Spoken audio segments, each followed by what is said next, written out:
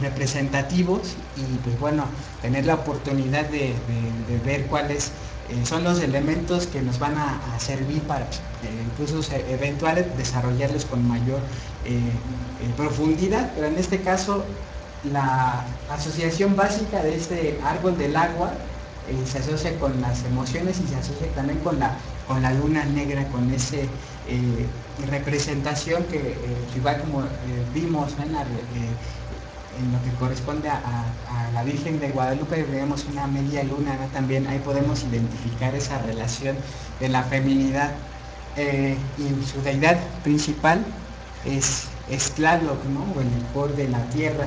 entonces, a partir de esos eh, esquemas vamos a ver eh, la relación profunda que hay entre, estos mitos y entre eh, la forma de vida de nuestras culturas anahuacas.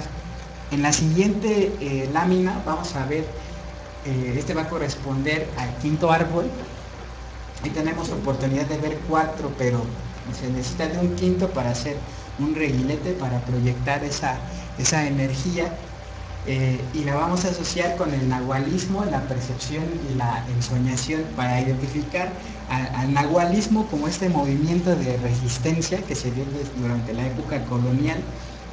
Aquí vamos a, ver este, en la penúltima clase lo correspondiente a la percepción para identificar cómo nuestras culturas originarias en la Nahua eh, identificaban eh, cómo, era cómo era el sonido, cómo era el tacto, cómo era el gusto, cómo era la forma de ver, qué era lo que les llamaba la atención y cómo cambia radicalmente a nuestra forma de, percibir el mundo. Y aunado a eso, vamos a terminar con lo que es la, ensoñación, con esa creación de, de, otros, bueno, con ese descubrimiento en primera instancia de esta eh, nueva atmósfera, de este nuevo entorno, de este nuevo contexto, y cómo nosotros crear cada espacio, cómo nosotros tener esa, eh, eh, esa conexión con nuestro, con nuestro legado y con nuestros ancestros.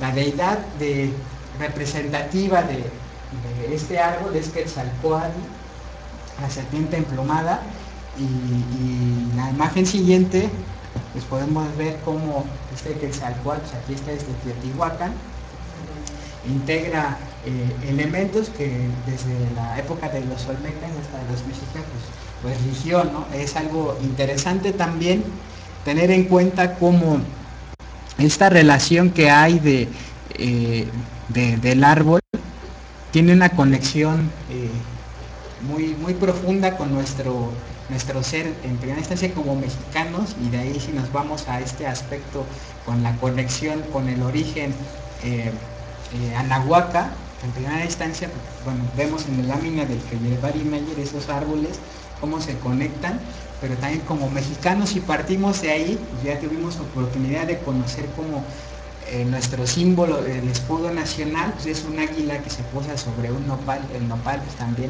tiene esa eh, relación con, con lo que son estos árboles, eh, se van a adaptar también al contexto de cada una de estas culturas. Y bueno, eso vamos a tener también oportunidad de verlo como en el caso del Pacal, que está en, su lápida del templo de las inscripciones, de su, de su, vientre, bueno, que vemos que él está posado sobre el inframundo y ahí crece un árbol donde aparece esta eh, imagen de, eh, con una representación de Quetzalcoatl. En la anterior, por favor que pues, es una serpiente emplumada, algunas veces que se cambia eh, el tipo de ave o la representación del reptil, pero el concepto es, es el mismo. Así que bueno, esto es lo que vamos a ver a lo largo de lo que nos queda del año, todos los martes de 19.30 a 21 horas. Eh, y ahora sí, por favor, en la lámina siguiente, vamos a, con esto es lo que eh, son términos que vamos a, a usar durante esta durante esta clase, en estos 45 minutos que nos quedan, eh, ¿por qué eh, cambiamos este taller de introducción ¿no? de una manera como lo abordamos en nuestro taller de identidad y raíces?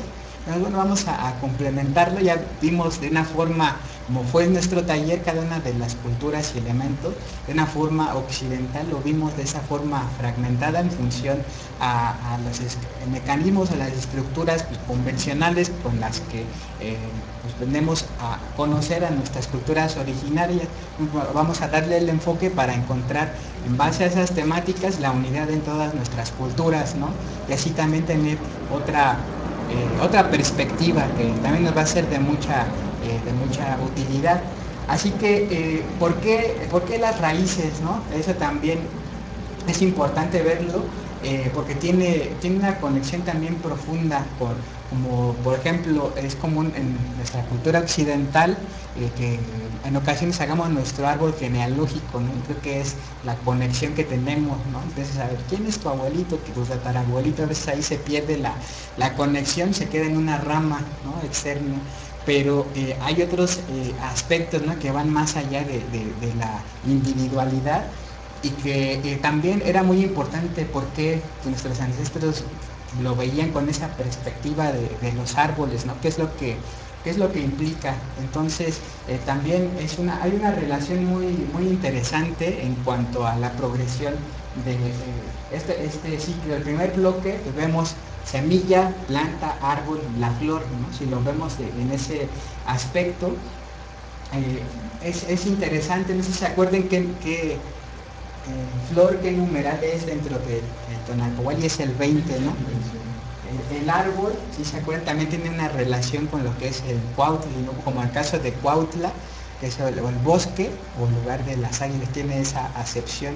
si se acuerdan qué, qué signo es el signo águila? 15. El 15. El planta, o que se llama hierba torcida, es el signo, si se acuerdan? ¿Y qué, qué número es? Es el 12, ¿no? Y bueno, el semilla, pues podemos asumir o relacionar con el signo 1, ¿no? El Zipacli también que lo hace que florezcan los elementos, la, vida es como la chispa, ¿no? De esa semilla originaria. Entonces, eh, estaba haciendo esa comparación, ¿no? Con eh, los ciclos de vida que se tenían anteriormente, cuando una semilla nace, por ejemplo, está en el vientre materno en comparación con un ser humano, eh, y empieza, empieza el desarrollo hasta los 12, 13 años, un promedio, más o menos también con esa relación en, el orden eh, de los signos eh, del Tonalpohuali o del Tolteca Xiutlapuali, y es donde se empiezan a dar estos cambios hormonales ¿no? para propiciar y prepararse para la vida. ¿no?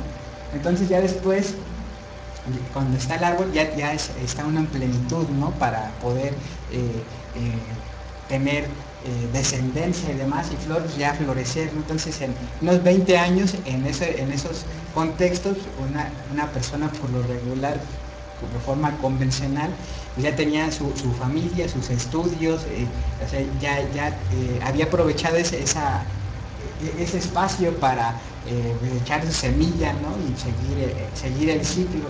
Entonces, eso como, un, como una observación, un ejercicio. Entonces vamos a, aplicar este, este, concepto para ver cómo es que una cultura, cómo es nuestra cultura eh, fue que la forma en la que echó raíces, ¿no? Si lo visualizamos en, eh, en este aspecto, ¿no? Desde la semilla, cuando se crea todo el calendario, se crea la, la en sí, eh, y cómo, cómo, comienza a germinar, ¿no? esa semilla comenzó a dispersarse con los olmecas desde la zona central de, eh, de, la zona nuclear olmeca y de ahí hasta Zacatecas y hasta Costa Rica, ¿no? En ese, en ese proceso. Empezó a germinar, empezó a agarrar fortaleza. Eh, hasta que esta planta comenzó a, a, madurar y llegó el periodo clásico donde se hizo un árbol precioso, una ceiba hermosa, y tuvo este, su, floración, después comenzó a marchitarse y ahorita eh, eh, ya se, marchitó de estos 500 años, pero está en un proceso de polinización, que es eh, con la difusión de la transmisión de esa, esa información que nos quedó.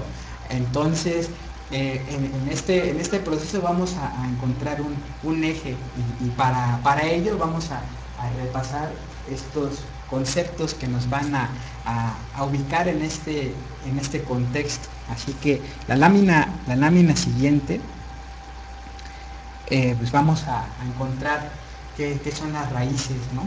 Ahorita, ¿alguien tiene algún comentario o alguna duda al respecto en lo que llevamos de, eh, la presentación? Los jugos del árbol de fuego no me viste ¿Hay un este? Ajá. Sí, a ver si repasamos el, árbol del, del, aire, ¿cuál sería? Hacia el norte, es color blanco. El, el, árbol del agua sería hacia el sur, ese es el color negro. Ah, sí, El agua hacia el oeste. Agua hacia el oeste, porque es Igualtampa. Hacia el sur, amarillo. Es el Huitzlampa, ¿no? Es el sur, ese es el, amarillo. ¿El cuál?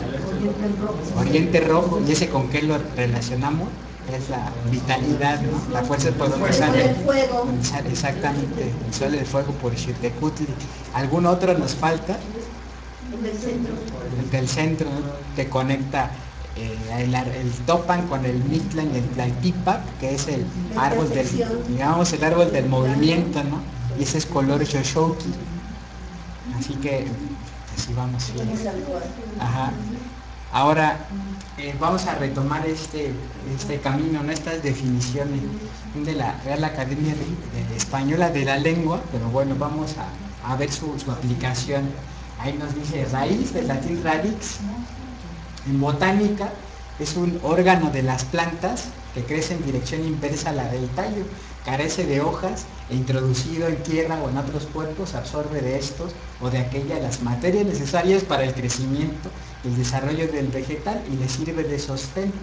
También este, en otra de las eh, acepciones vemos que es parte de una cosa la cual quedando oculta procede lo que está manifiesto. Quise es eh, interesante, ¿no? Porque eh, cuando escuchamos ese término de esas raíces profundas de México, esas raíces culturales, es interesante el comparativo, ¿no?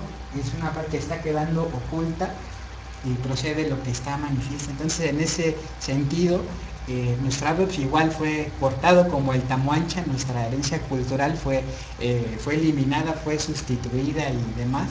Pero pues, a pesar de que eh, estaba recordando un, árbol de, hule que estaba en casa de mi abuelita, que lo cortaban, estaba inmenso, no así frondoso, y comenzó a, romper las banquetas y, lo cortaron y siguió dando brotes y lo volvían a cortar y le echaban que agua caliente y todo, por más que querían, este, eh, no, no, no se pudo, ¿no? Hasta que ya después la tuvieron que, quitar desde la raíz y ya y sí, ¿no? Fue que, se perdió. Aquí se quiso hacer algo semejante con nuestra cultura originaria, ¿no? La cortaron y que en el momento que empezó la resistencia empezaron esos brotes, este, pues igual se fueron, ¿no? Este, arrasándolos, pero Ahora sí, a pesar de todo ese proceso, no lograron sacar esa raíz porque era una ceiba inmensa. Entonces, ahora, eh, eh, con, este, con este enfoque, pues vamos a ver también esa parte inferior o de pie de cualquier cosa. Entonces, ese, ese estrato, ese, ese nivel, ese cimiento está ahí. Entonces, es cuestión de nuestro trabajo para que pues, igual eh, se siga este proceso de, de crecimiento. También la quinta acepción dice es la causa u origen de algo. Entonces, eh, en, este, en este proceso eh, también es, interesante asumirla si se causa o efecto de algo. Entonces, nuestra, nuestra raíz cultural, de dónde, de dónde proviene, ¿no? De cuál es su origen, viene de este, pero también es, es, una causa. Y también por eso es que pues, estamos aquí haciendo este esfuerzo de, difusión y también a ustedes al compartirnos su tiempo y difundirlo con nuestra este, eh, con nuestros seres cercanos. En la siguiente lámina pues, podemos apreciar, esta nada más es una parte evidente de las raíces, ¿no? Eh, este también es un árbol de una, eh, de una ceiba, pero esto pues, aún así se ve, se ve impresionante, pero no, no, lo es todo y es una parte muy, muy importante que, le hace que este organismo vivo se mantenga, se mantenga de pie.